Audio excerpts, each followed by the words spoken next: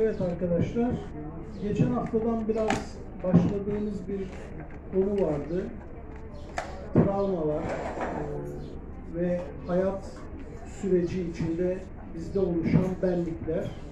Ve bu benliklerin aslında hayatımızı eee, nasıl güçlü bir şekilde şekillendirdiği, eee, aslında biz gerçek anlamda kendi hayatımızı yaşamaktan çok e, o benliklerin e, bize gösterdiği bir hayatı yaşıyoruz. Yani eğer hayatı güçlü olmak üzerinden algılıyorsak hayat bize sürekli e, güçlü müyüm, değil miyim, yeterli miyim, değil miyim diye e, bir çerçeve içinde görünüyor. E, veya onaylanıyor muyum, onaylanmıyor muyum, takdir ediliyor muyum, edilmiyor muyum, e, anlaşılıyor muyum, anlaşılmıyor muyum? E, biraz önce bir e, kitabın ön sözünde bir ifadeye rastladım. İşte anlamak ve anlaşılmak derdiyle e, yaşamaktan bahsediyordu. Mesela insan acaba anlamak ve anlaşılmak gibi bir derde sahip midir? E, bunu kendine dert edilen kim aslında? Yani anlamalıyım anlaşılmalıyım diyen kim? Yani kim beni sürekli zorluyor? Kim beni sürekli e, şu veya bu açıdan bakmak konusunda e, üstüme geliyor ve zihnimi ben bununla meşgul etmek durumunda kalıyorum. Tabii biz bunlardan şüpheleniyor muyuz? Bir yerden sonra şüphelenmiyoruz artık yani. Bunu düşünen kim? Bunu hisseden kim? Bunu arayan kim? Bunu isteyen kim? Ee, Tabii biz bunları e, artık sormaz bir e, noktaya geliyoruz. Çünkü hiç şüphe etmiyoruz. Tabii ki ben diyoruz. İşte o tabii ki ben dediğimizde aslında e, gerçekte ben olmayan bir şeye e, ben diyerek hayatı aslında onun üzerinden yaşamış oluyoruz. Biz buna geçen e, konuşmamızda e, ne demiştik? Vekalet benlikler demiştik. Yani aslında bizim adımıza e, bizim hayatımızı e, yaşayan benlikler var. E, bir bakıyorsunuz hayatınız e, sürekli e, kendini ortaya koyabilme, kendini ispat edebilme, kendini onaylatma arzusunun etrafında dönüyor. Ee, sevilme veya önemsenme arzusunun etrafında dönüyor. Ee, hayatta bir şey ortaya koyup kendini ortaya e, koyduktan sonra tatmin olabilme hayalinin etrafında dönüyor. Ee, kişinin aslında gerçek e, gerçek hayatla e, arasındaki bir engeldir aslında bunlar. E, bu engelleri görmediğimiz müddetçe hayat e, o benlikler tarafından yaşanıyor. O benliklerden kastımız ne? Arzularınız, korkularınız, beklentileriniz. Temelde bunların üzerine işleyen bir benlik mekanizması var. Ee, mesela işte güzel miyim değil miyim? Yakışıklı mıyım değil miyim? Mesela bunun etrafında hayatımızın kaçta kaçı dönüyor? Veya bir karşı cins tarafından beğeniliyor muyum, beğenilmiyor muyum? Talep edilen biri miyim, edilmeyen biri miyim? Bunun ne kadar bunun etrafında dönüyor hayatımız? Veya bıra- yani eşim beni seviyor mu, sevmiyor mu? Beğeniyor mu, beğenmiyor mu? Anlıyor mu, anlamıyor mu? Ne kadar bunun etrafında dönüyor acaba hayatımız?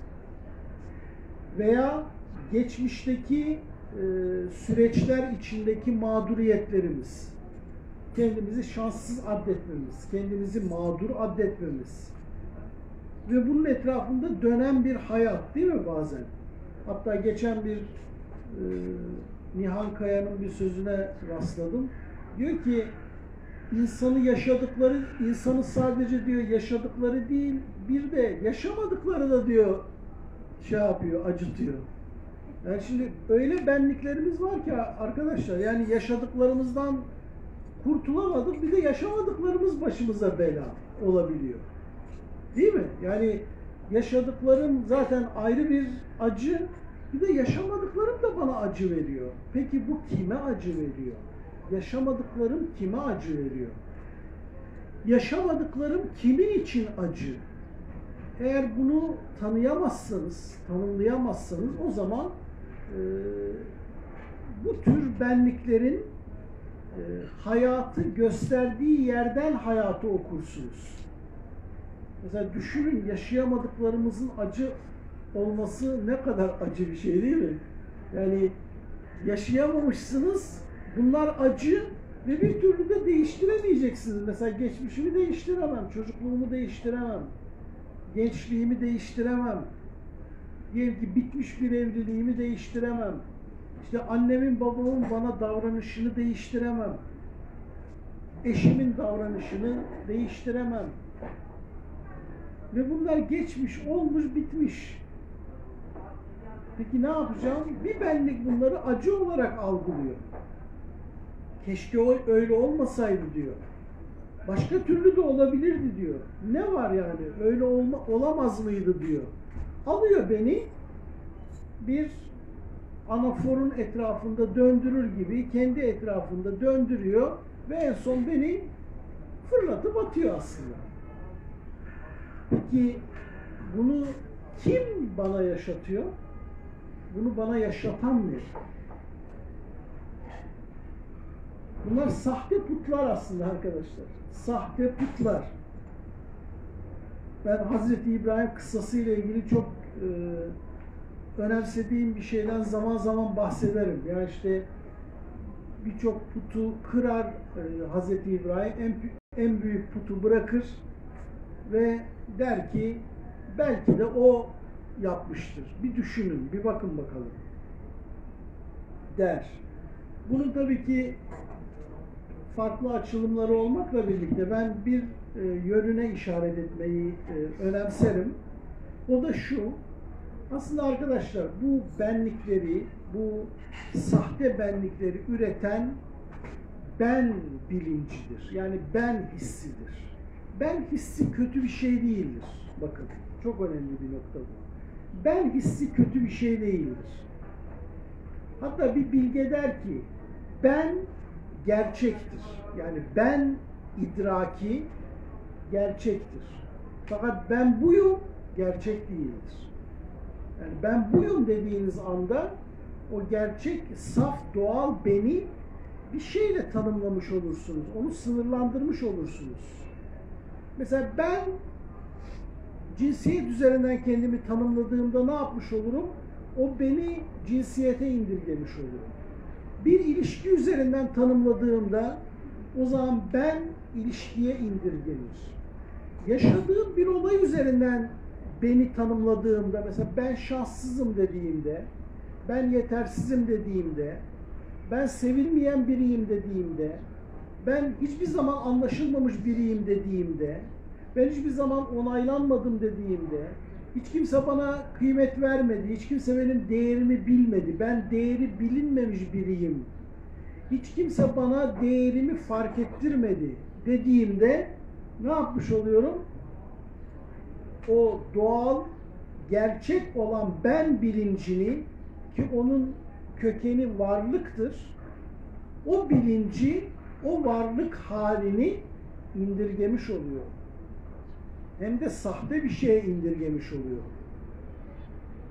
O yüzden ben gerçektir ve ben varlık demektir. Ben dediğiniz zaman arkasına hiçbir şey eklemeyin. Mutlaka bir şey ekleyeceğiniz zaman varlık kavramını ekleyin. Ben varlığım, ben bilincim, ben saf mutluluğum. Ben hiçbir şeye muhtaç olmayanım aslında. İşte o noktada bizi sürekli hapseden diğer benliklerin farkına varır. Çünkü zihnimiz durmaz. Ben arkasından bir şey eklemek ister. Ben bir şey ekleyecek, duramıyor. İşte eklediği her şey sahtedir. eklediği her şey sahtedir. Neden sahtedir? Çünkü sen o değilsin. Sen bir erkek değilsin, bir kadın değilsin, ilişkileri üzerinden tanımlanan bir varlık değilsin, şanslı değilsin, şanssız değilsin. Hiçbir ikilem üzerinden tanımlanamayacak bir varlıksın. Çevrendekilerle bağlantılı olarak kendini tanımlayamazsın. Mesela kim benimle ilgili ne düşünüyor? Benim hakkımda ne düşünüyorlar? Bunların hepsi birer aslında sahte benlik. Ve hani bizim İslam tarihinde vardı işte kendi elinle put yaparsın, sonra önünde secde edersin, sonra karnın acıktığında da yiyebilirsin bazen değil mi? Kendi elimizle put yapmak ne demek? Bir bakın bakalım kendi elimizle ne yapıyoruz? Kendi elimizle benlikler üretmiyor muyuz? Kendi elimizle ürettiğimiz benliklerin karşısında el pençe divan durup onları razı etmeye çalışmıyor muyuz?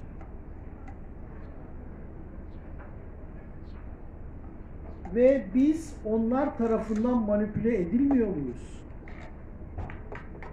Başarmalıyım. Kim diyor sana? Ama arkadan bir şey dürtüyor değil mi? Başarmalısın. Güçlü olmalısın. Yeterli olmalısın. Saygı duyulmalısın. Önemsenmelisin. Anlaşılmalısın. Takdir edilmelisin. Beğenilmelisin. Kim diyor bunları? Dikkat edin. Bunları tatmin etmediğimiz zaman ne oluyor? onların gazabına uğruyoruz değil mi? Cezalandırılmıyor muyuz? Bak işte seni hiç kimse sevmiyor, kimse takdir etmiyor. Hayatta hiçbir şey beceremedin. Hiç kimse sana değer vermiyor. Demiyor muyuz kendi kendimize? Ve bu bir kendi kendimizi cezalandırma niteliği taşımıyor mu? Veya tam aksi, aa bak takdir ediliyorsun, o ne güzel. Tanrı'yı memnun ettik değil mi? Putları memnun ediyoruz. Çünkü onlar memnun olmazlarsa bizi asla mutlu etmiyorlar. Öyle değil mi? Onları tatmin etmediğimiz zaman mutlu etmiyorlar bizi. Mesela niye somurtuyoruz hayatta bir bakın. Bir içinize bir bakın somurttuğunuz zaman, mutsuz olduğunuz zaman bir bakın içeride kim sizi mutsuz ediyor? Kimin mutsuzluğunun ceremesini çekiyorsunuz. Gerçek bir şeyin mi, sahte bir şeyin mi? Dolayısıyla kimin tarafından manipüle edildiğimizi fark etmek durumundayız. Bu çeşit çeşit benlikler olabilir arkadaşlar. Mesela korkan benlik olabilir. Huzur arayan benlik bile olabilir bir benlik şey yapar. Huzuru bozma. Aman bak dikkat et huzurunu bozma. Sürekli inisiyatif almaktan kaçabilir. Korkan bir benliktir. Sürekli kendini güvende tut. Sürekli seni güvende tutacak durumlara odaklan. Her şey garanti olsun. Kim diyor bunu? Her şeyin garanti olmasını kim söylüyor? Her şey belirli olsun. Hiçbir belirsizlik olmasın. Kim senden bunu istiyor? Kim sana bunu dayatıyor? Bu olmadığında kim seni mutsuz ediyor?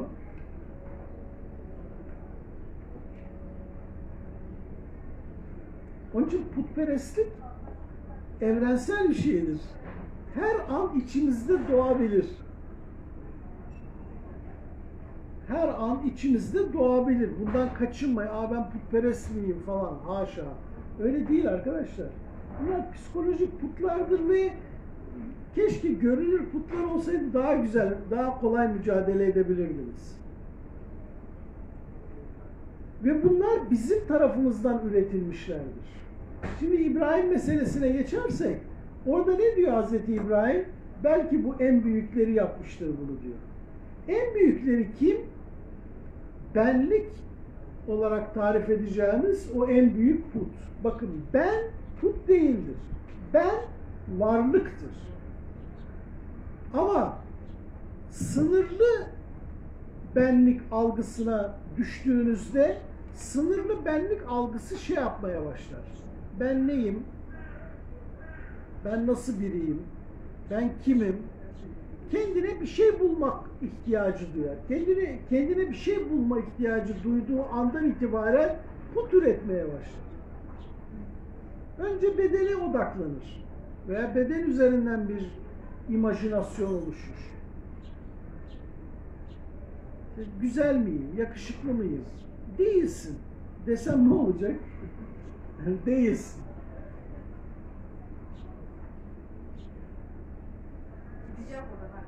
Değil mi? İşte ya öyle deme falan işte alınırım. Kim alınıyor arkadaşlar? Değil mi? Mesela güzel değilim. Bir kadın olarak güzel değilim. Bir erkek olarak yakışıklı değilim. Ne olur? Ama bakın içeride bir şey diyor ki ya ama öyle olmasın diyor. Güzel olayım diyor. Yakışıklı olayım. Daha iyi olur. Kim diyor bunu? Bu kimin imajinasyonu? Ve kim tarafından bu bize sürekli bu dayatılıyor derken bakın dışarıdaki bir etkiden bahsetmiyorum.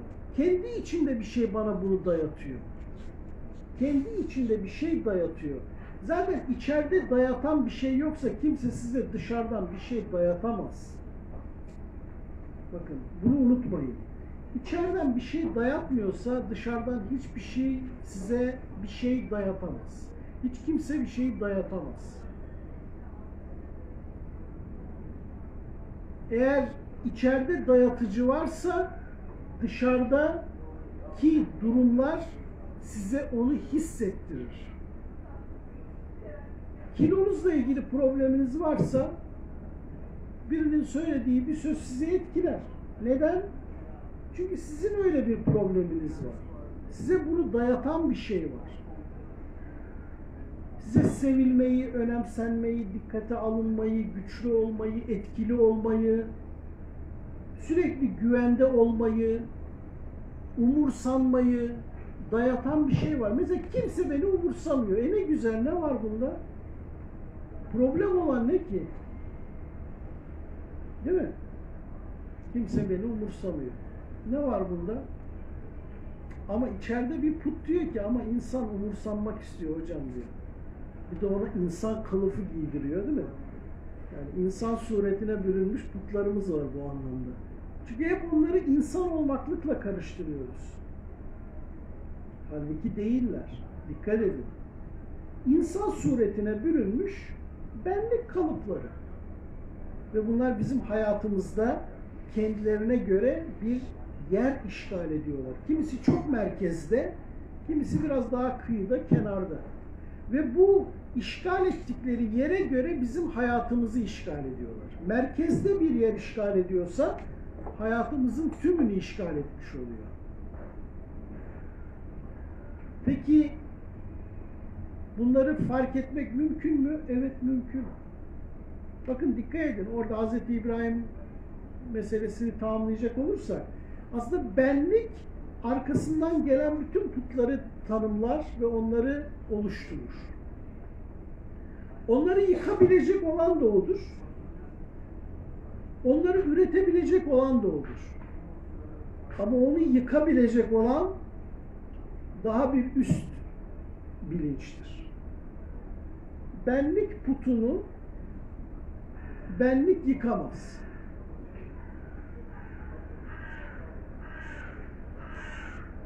Sürekli kendi beninize bir dayanak ararsanız, yaradan dışında, gerçek varlık dışında bir şey ararsanız mutlaka bir hataya düşersiniz. Yani insan bir şey olmak ister, bir şey olmak ister, bir şey olmak ister. Çünkü o benlik varlık bilincini unuttuğu için bir boşluk gibidir.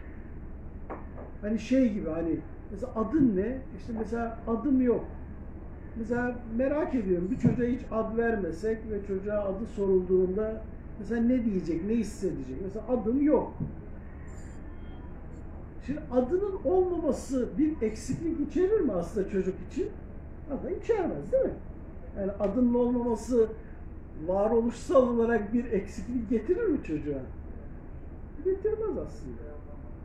Ama şimdi herkesin adı var, bir benim adım yok. Tırnak içinde ego için ne beter bir şey görünür değil mi? Halbuki aslında gerçekte bir eksiklik getirir mi? Benim adım yok. Ama bakın boşluk algısı orayı doldurmayı arzu eder. Mesela biz mesela adımızın olmayışını önemsiz yani herhangi bir eksiklik taşımayan bir şey olarak algılasak adım yok. Mesela adım ne? Adım yok. Bir mahsur var mı? Yok. Ama mesela herkesin adı var. Benim adım, benim adım yok. Ne kadar kötü bir şey. Utandım mesela falan diye derim değil mi o durumda? Herkes adını söylüyor, benim adım yok. Ego böyle bir şeydir. Benlik böyle bir şeydir. Yani boşluktur. Kendini boş hisseder. O yüzden o boşluğu doldurmaya çalışır. Önce neyle doldurur? Bedenle doldurur. Eli, ayağı, yüzü, gözü üzerinden değil mi? Bedenle doldurur. İlk imaj bedendir. İlk özdeşleşmemiz beden üzerinden oluşur. Sonra beceriler, yetenekler üzerinden oluştururuz. Bakın bir yeteneğin olması ayrıdır. Onun üzerinden kendimi tanımlamam ayrıdır. Mesela çok iyi yemek yapabilirim ama ben çok iyi yemek yapar yaparım. Ben çok iyi yemek yapan biriyim demek ayrıdır. Ben bir konuyu çok iyi bilebilirim ama ben bu konuyu çok iyi bilen biriyim. En iyi bu konuyu ben bilirim dediğimde bu ayrı bir şeydir.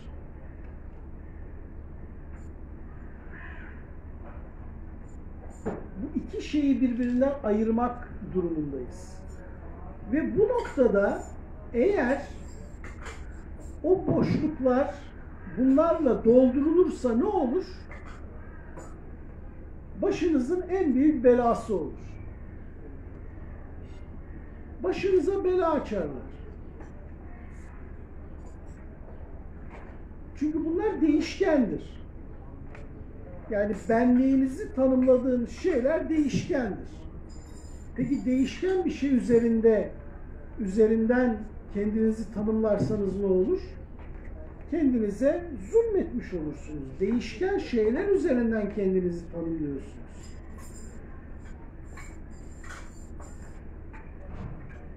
O yüzden kadim bilgelik insanı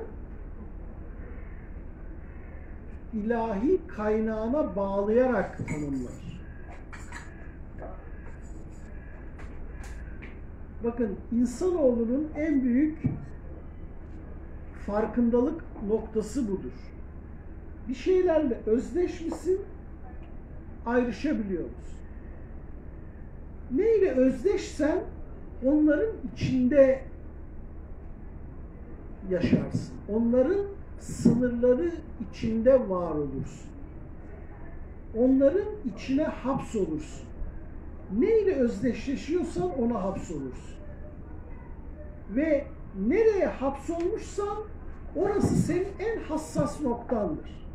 Nereye hapsolduysan orası senin bant elindir. Aşil topuğundur. Oraya dokunulduğu zaman senin canına dokunuluyor anlamına gelir. Atıyorum mesela bir kadının kadınlığına dokunduğunuz zaman rahatsız oluyorsa sen ne biçim bir kadınsın? Denildi diyelim. Veya bir erkeğe sen ne biçim bir erkeksin? Eğer onun üzerinden bir tanımlama varsa orası çok hassastır. Nereniz hassassa en çok özdeşleştiğiniz yer orasıdır.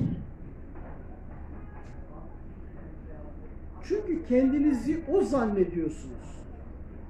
kendinizi o zannediyorsanız o zaman orası sizin kalbinizdir. Orası sizin en temel varlık alanınızdır. Zemininizdir, temel varlığınızdır. Ve siz farkında olmadan aslında kendi tuzağınızı inşa edersiniz. Çünkü oraya sahte bir vatan kurmuşsunuz. Ve o vatan mutlaka işgal edilecek. Mutlaka zarar görecek. Mesela gencim dediniz. Ne oldu? Gençlik ne olur? Gider. Güçlüyüm dediniz. Gücünüz ne olur? Gider. Huzur da gider bakın. Dışsal huzur da gider. Her şey biter. Her şey geçer. İşte o yüzden yine Hazreti İbrahim der ki ben batan şeyleri sevmem. Bir şey batıyorsa, bir şey değişkense onlar benim kalbimin merkezinde yer almamalı. Çünkü batan bir şey, geçen bir şey. Mesela dikkat edin, ihtiyarların çoğu niye böyle derinlere dalar, mutsuzdur veya böyle bir şeylik vardır yani. Sanki böyle hani bir şeyleri varmış da kaybetmişler. Değil mi? Doğru mu? Evet zahiren tabii doğru. Ama hakikatin açısından baktığınızda neleri vardı ki kaybetmiş olsunlar? Bir yolcuydum. Geldim ve gidiyorum. Mahzun olacak bir şey var mı? Geride bırakmaktan kederlenecek bir şey var mı? Ama niye kederleniyoruz? Çünkü bir şeye hapsolmuşuz. Bir şeyle kendimizi tanımlamışız. İşte bak görüyorsun. Çoluk çocuk falan hepsi gidiyor. Bir şey kalmıyor. Herhalde kalmıyor. Kalacağını mı zannettin diye. Sen bir zaman kalacağını zannetmişsin. Şimdi bakıyorsun ki hiçbir şey kalmıyor. Tabii ki kalmaz. İşte Budist gelenek buna ne der biliyor musunuz arkadaşlar? Cehalet der. Üç tür zehirden bahsedilir. Cehalet, öfke ve arzu. Cehaletten kasıt bir şey hakkındaki yanlış algıdır arkadaşlar. Cehalet dediğimiz şey budur. O yüzden cahiliye devri olarak tanımlanmıştır. Yoksa cahillik veya cehalet hiçbir şey bilmemek değildir. Hiçbir şey bilmemek ayrı bir şeydir. Cehalet bir şey hakkındaki yanlış algıdır. Buna cehalet diyoruz. Mesela dünya hakkında cahil miyiz? Cahiliz. Kendimiz hakkında cahil miyiz? Cahiliz. Hayat, varoluş, insanlar, ilişkiler, sevgi, merhamet bunlar hakkında cahil miyiz? Cahiliz. Yani bunlar hakkında yanlış algılara sahibiz. Yoksa Ebu Cehil hani bilgisiz biri değildi tırnak içinde şey olarak. Bir şeyler söylüyordu ama o cehaletin timsali olarak kabul ediliyordu. Neden? Biliyorum dediği şeyler yanlış şeylerdi. Bizim de durumumuz bu. Mesela kendinle ilgili algın nedir? Kendinle ilgili algılar noktasında bir incele, bir üzerinde düşün bakalım. Kendin hakkında algının temelleri nereye oturuyor? Bu algı nerelere dayanıyor? Mesela bir insan ben güzelim dese cahildir. Yani bedenine bakıp ben güzelim dese cahildir. Onaylıyor musunuz bunu? Yoksa onaylamıyor musunuz? Veya bir erkek aynaya bakıp ben çok yakışıklıyım de dese cahildir. Yani saf, saf cahildir.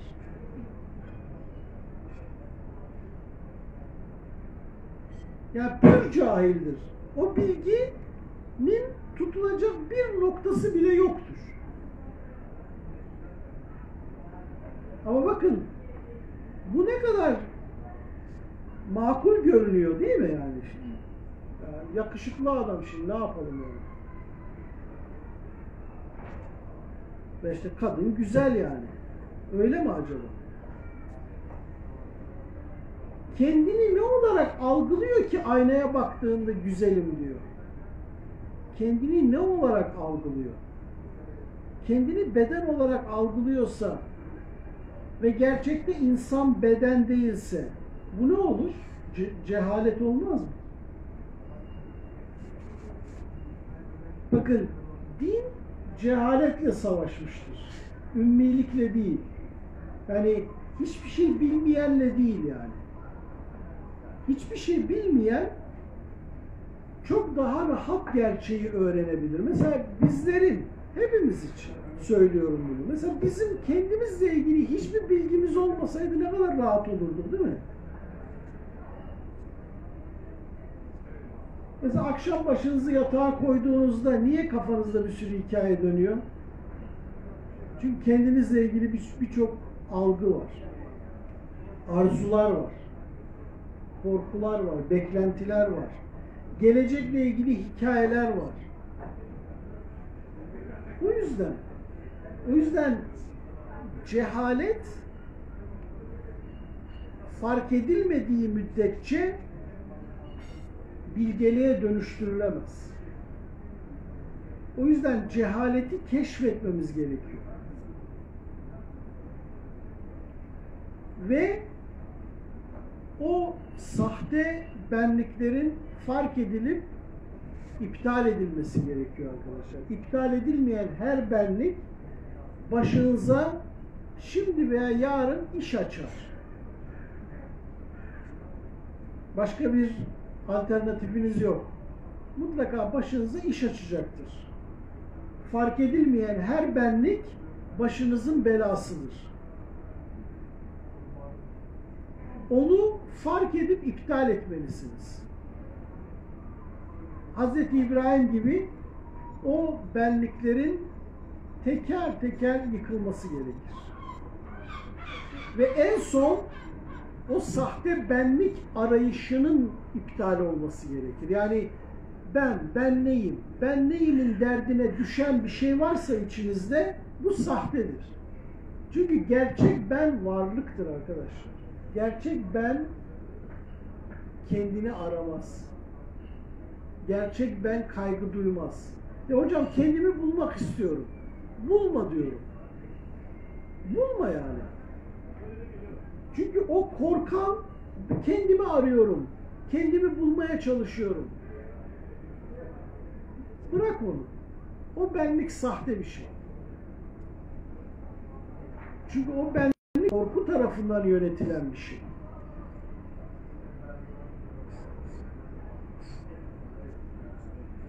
Evet, bir sorun mu var? Şey, Ama cevabını verdim.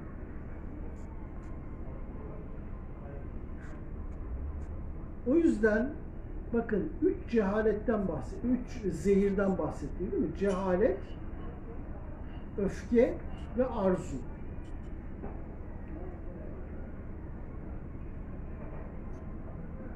Bunlar insanoğlunun psikolojik dünyasında üç temel zehirdir. Arzu zehri, korku zehri ve cehaletin zehri. O yüzden bizim problemimiz bilmemek değil, yanlış şeyleri doğru olarak bilmek. Yani öyle zannetmektir.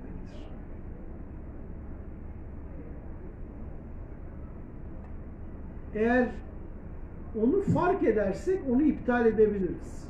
Ama bir ömür boyu onunla da yaşayabiliriz ve o bizim başımızı sürekli derde sokabilir ve onun sonuçlarına katlanmak durumunda kalırız. Onun içinden hayatı okumak durumunda kalırız. Bütün hikayeler bunların etrafında döner. Kaybetme korkusu bunun etrafında döner. onaylanma arzusu, takdir edilme arzusu, mahrum olma hissi, işte herkes çok güzel yaşıyor ve herkes için çok rahatlıkla edinebildiği, yaşayabildiği bir şeyi ben yaşayamıyorum. Mahrumiyet duygusu, mahrumiyet hissi.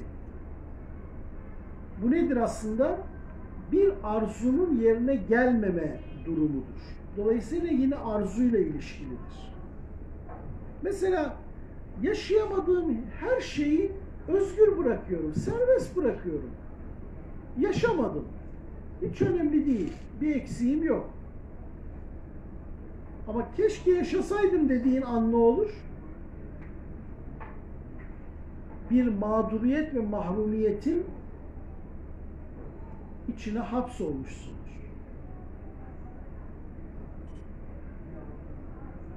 O yüzden korkunun, arzunun, öfkenin ve cehaletin farkına varmamız gerekiyor. Farkına varılan bir şey ve onaylanmayan bir şey ortadan kalkmaya mahkumdur.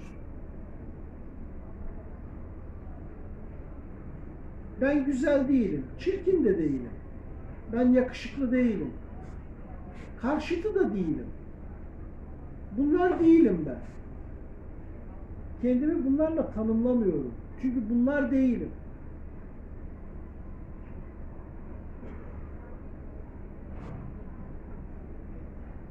Yaradan tarafından var kılınmış ve varlığı hiçbir şeye de dayandırılmamış olan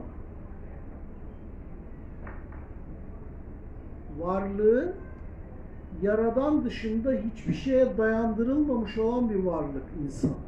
Peki sen bir düşün bakalım varlığını nelere dayandırıyorsun? Varlığın neyin üzerine dayanıyor? Neyin üzerinden şekilleniyor? O zaman peki bunlar sahte değil mi?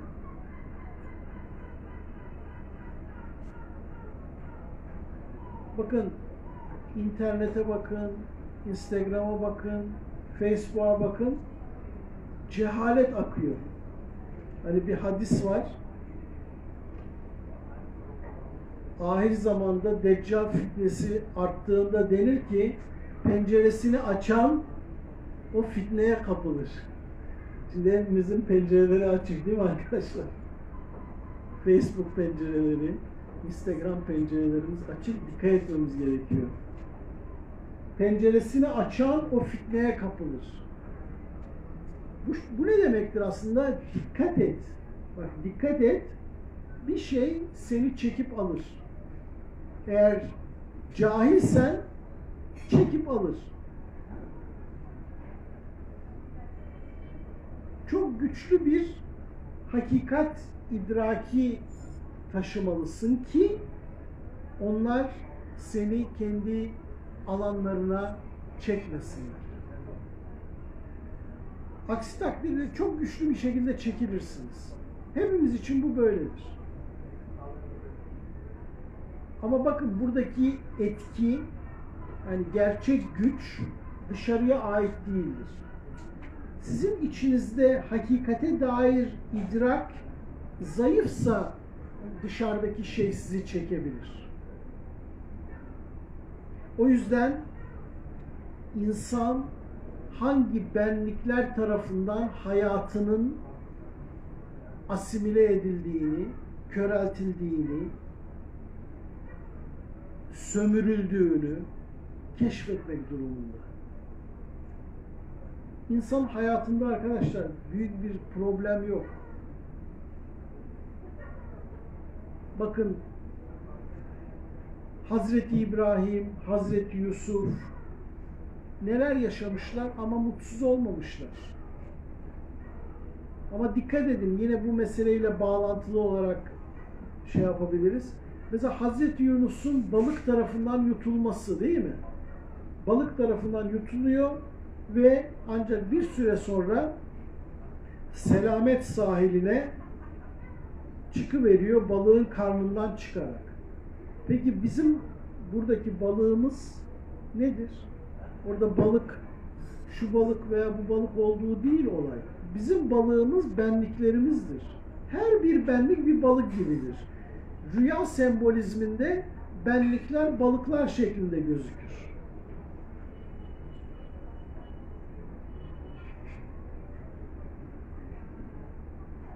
Biz bir benlik algısıyla özdeşleştiğimizde mesela ben önemsenmeyen biriyim. Ben hayatımda hiç ailesi tarafından takdir edilmemiş biriyim. Küçümsenmiş biriyim. Hayatta hiçbir şey ortaya koyamamış biriyim. Herkesin böyle dışladığı biriyim. Şimdi bu tanımları yaptım mı? Yaptım. Ne demek bu? Balık beni yuttu demek. Türkçesi bu. Balık beni yuttu demek. Her bir ben bir balıktır. Ve o balık sizi yutar. Yutunca ne olur? Artık siz o balığın gözüyle görürsünüz hayatı. O balığın bakışına mahkumsunuz. Mesela hiç sevilmeyen biri olduğunuzu düşünün. Bir ortama girdiniz. Hangi gözle bakacaksınız insanlara?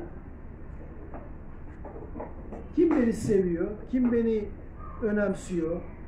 Kim bana olumlu yaklaşıyor? Kim bana güler yüz gösteriyor? Kim göstermiyor diye bakacaksınız. Bakın balığın gözünden bakmaya başladınız. Veya ben çok güçlü olmalıyım. Girdiniz bir topluma ne yapacaksınız? Bakacaksınız sizden güçlü olan var mı? Sizden güçlüyse ne kadar güçlü? Ne açıdan güçlü? Onu nasıl alt etmelisiniz? Bakın o benliğin gözüyle bakarsınız. Bir erkeksiniz. Kadınlar tarafından beğenilmek istiyorsunuz. Hangi gözle bakarsınız hayata? O gözle bakarsınız. Veya tam tersi. Ne, ne demek bu? Balık tarafından yutulmak demek.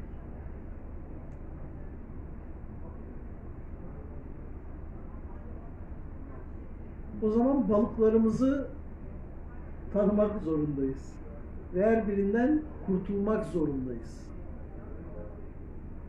Ben güçlü biriyim, bir balıktır. Ben yetersiz biriyim, bu da bir balıktır.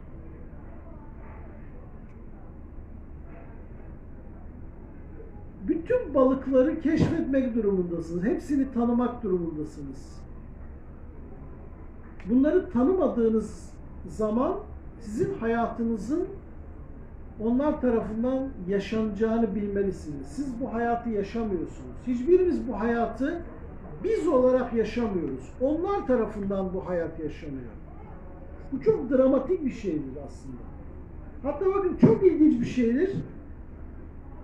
Eğer Yunus işte o tövbeyi yapmasaydı kıyamete kadar öyle kalırdı mealinde ayette geçer. Şimdi bakın zahiren değil bu. İşari olarak yani ifade ettiği içsel anlam itibariyle ne demek bu? Eğer Hazreti Yunus o Kur'an'da bahsedilen tövbeyi etmeseydi, o duayı etmeseydi, o bilinç dönüşümünü yaşamasaydı ömür boyu ebediyen o balığın karnında kalabilirdi. Yani ne demek? Hayatı onun üzerinden algılayabilirdi. Hayat o benliğin algısı üzerinden yaşanabilirdi. O yüzden hep bahsediyorum. Acılarınızı abartmayın. Yaşadıklarınızı abartmayın. Kendinizi yaşadığınız olumsuzluklarla tanımlamayın. Ve dikkat edin bakın bir sakince bir durup bakın zihniniz size ne hikayeler anlatıyor. Ben diye başlayan ne hikayeler dönüyor zihninizde. Böyle bir onlara bir bakın yeter. Onları bir gözlemleyin yeter. Hepsinin adını koyabilirsiniz. Yeterince iyi olamadım, mükemmel değilim, hep hatalıyım, işte hayatımda hiçbir şansı iyi değerlendiremedim vesaire.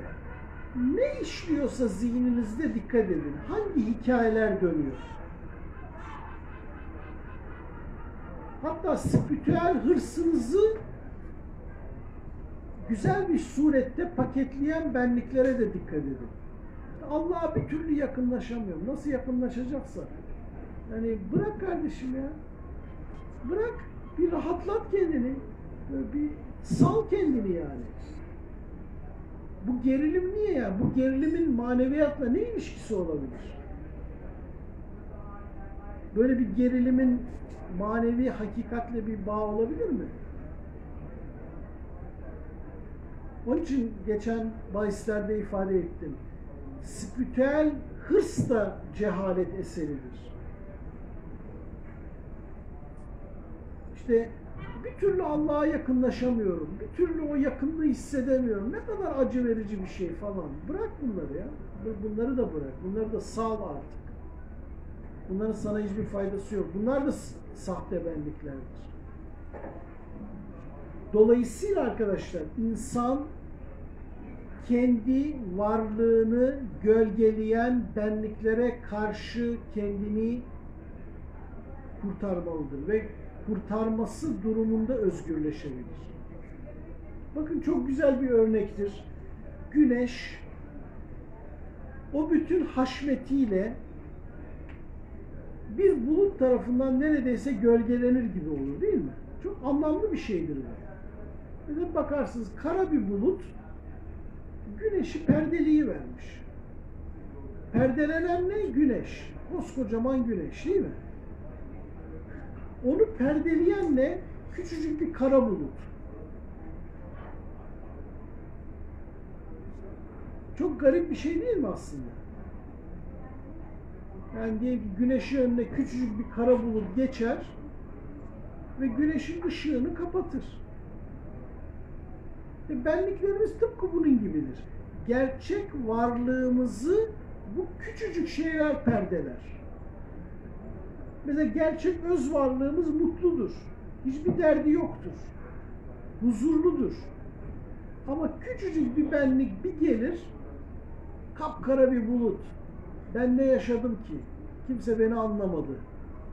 Bütün o spiritüel mutluluğunuzu, huzurunuzu gölgeler. Küçücük bir bulut. Gerçekte ortadan kaldırabilir mi o mutluluğu? Hayır aslında kaldırmıyor. Bakın benlikler böyledir.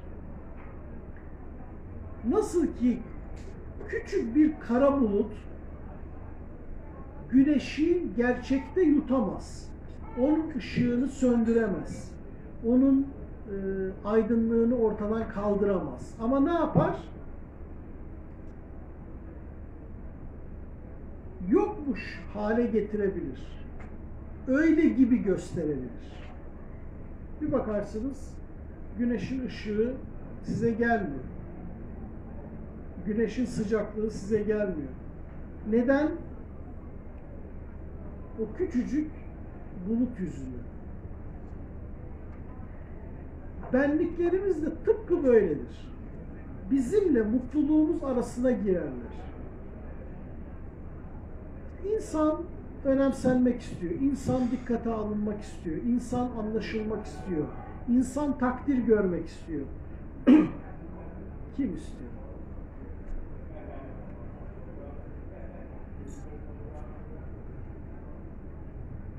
Kim istiyor sorusunu sormak ve bu gerçek ben değilim cevabını vermek olmazsa olmazdı. Başka yapacak başka hiçbir şey yok. Ama tuzak nerede devam ediyor? Tuzak o sahte benliklerin arayışlarının peşlerine düşmekte devam ediyor. Çünkü bakın sahte bir benlik size aynı zamanda sahte bir yol gösterir. Sahteliği sahte olmasıyla bitmez. Bir de size sahte bir yol gösterir. Ve siz o sahte yolu ararsınız. Bu sefer sahtelik iki katına çıkar. Bu sefer o sahte hedeflerin, sahte çözümlerin peşine düşersiniz. Bir de hayatınız öyle gider. O yüzden insan eğer bu bahsettiğim şeyi gerçekten anlarsa insanın hissedeceği duygu ne olur biliyor musunuz arkadaşlar? Dehşet. Yani gerçekten dehşete kapılmamız gerekir. Bu hani korku anlamında demiyorum. Hani bu kadar mı manasında bir insanın bir durup ya hakikaten ben bir şey tarafından manipüle ediyorum, ediliyorum. Bütün hayatımı esir etmeye çalışan, benimle huzurumun, mutluluğumun, gerçek kendimin arasına giren ve sürekli bana sahte şeyler fısıldayan bir şey var. Ve ben sürekli onu korumaya veya kotarmaya çalışıyorum. Bana korku veriyor, onu rahatlatmaya çalışıyorum. Arzu veriyor, arzularını gerçekleştirmeye çalışıyorum. Bu böyledir diyor, tamam diyorum. Madem öyle diyorsun öyle olsun diyor. Ve onun peşine düşüyor. Fazla dehşet verici bir şeydir. Korku manasında demiyorum. Yani irkilmek gereken bir şeydir. İnsanın bir durup yani gerçekten bu çok problemli bir şey diyebilmesi gerekiyor. O zaman bir bakacaksınız ki hepsi yavaş yavaş dağılmışlar. Hepsi zayıflayacak çünkü. Çünkü artık siz onları onaylamıyorsunuz. Onaylamadığınız şey zayıflar. Onayladığınız şey güç kazanır. Bir şeyi onayladığınız müddetçe ona gücünüzü vermiş olursunuz. Onu güçlü kılan da sizsiniz. Onun gücünün artmasına yaşamasının devamına neden olan da sizsiniz. O yüzden çözüm de kolaydır. Çözüm insanın bunları onaylamamasıdır. Yani Hazreti İbrahim'in putları kırması gibi. Putlar kırılabilir. Çok rahatlıkla kırılabilir. Çünkü canlı değiller. Canlı değiller. Sizin onlara can vermenizle can taşıyorlar. Onlara güç vermeyebilirsiniz. Onları onaylamayabilirsiniz. Onları onaylamadığınız zaman güçleri ortadan kalkacaktır. O yüzden hayat ancak ben gerçek ben olduğum zaman doğru yaşanır. Yoksa bugün gölgeler savaşı veriyoruz. Herkes bir gölgesinin üzerinden savaş veriyor.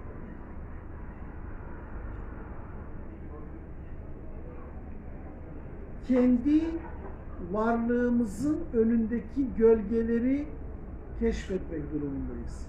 Onlar ben değil. Onlar benim adıma ben zannettiğim gölgelerdir ve onları bırakmalıyım. Evet, teşekkür ederim. Ee,